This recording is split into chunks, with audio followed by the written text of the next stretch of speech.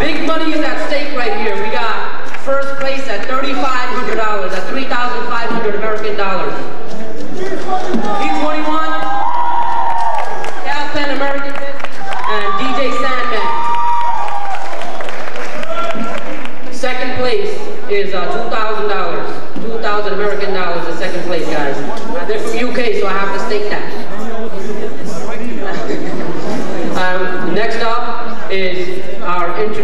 Vancouver Vibe team.